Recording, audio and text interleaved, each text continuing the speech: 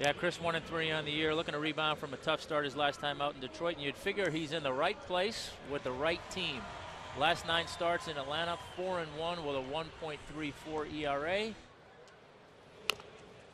a cue shot in front of the mound. Medlen will take care of Werth. Lombardozzi to second with two outs. Strike three right down the middle, and Desmond was caught looking. Corners. And a comebacker. Medlen's got LaRoche in a rundown. And flips to Johnson in time to retire Adam LaRoche for the first out. His starting pitcher or his relief pitcher. As Medlen makes a good delivery to take care of Jayson Werth for the second out of this third inning. Haren bunted successfully his last time up. He swings and misses successfully here in the fourth inning. And Medlen has his second out. That's over the inside corner. He didn't swing, but is 0 for 3. York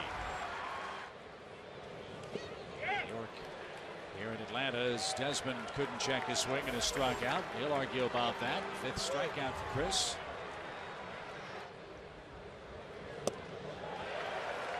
That's Kris Medlen like. LaRoche swings and misses. And Herod is struck out. Strike three to Bernadina. Chris Medlen pitches around a couple of walks and sends this game to the seventh inning stretch.